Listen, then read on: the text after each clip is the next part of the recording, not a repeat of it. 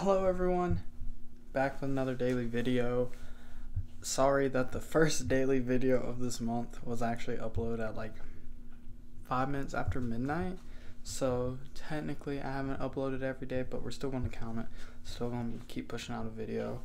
Um so yeah, I'm editing the video for yesterday, which would be December 2nd.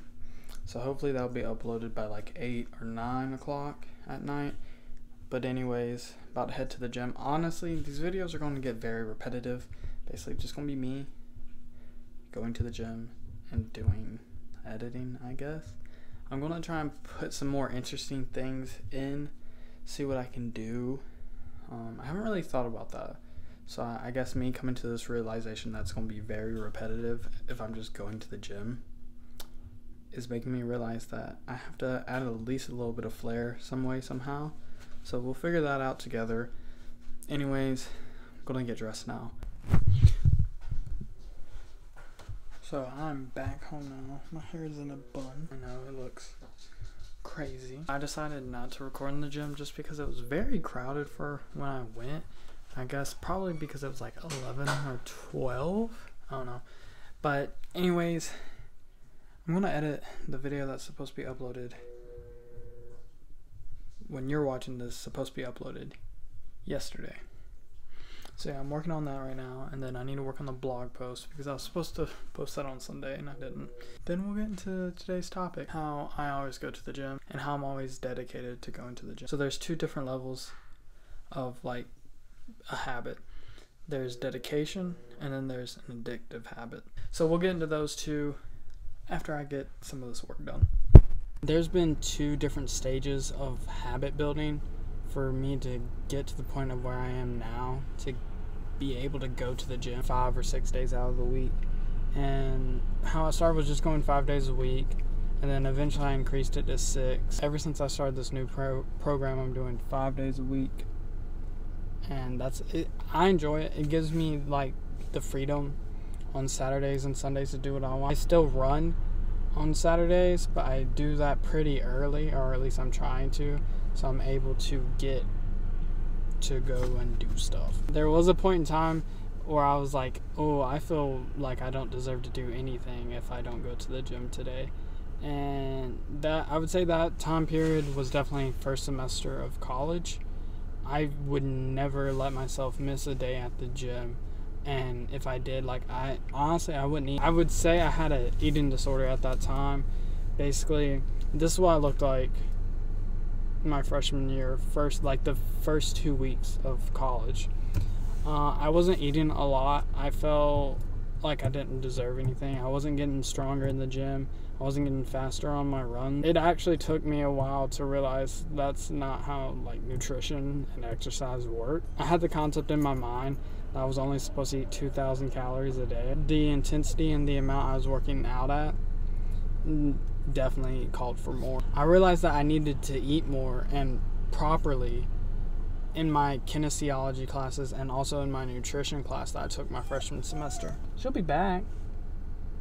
You got a little hair. Let's get you something to drink. He may be a little he may be a little thirsty. I would say at that point in time, I was definitely addicted to exercise, and that's also another thing we've covered in my major is addiction to exercise. But I, I was just in a really bad state of mind at that time. I'm sorry. He's a little. He just. He he misses her. I wasn't truly loving myself. I guess you could say. I hated how I looked. Um, I I just.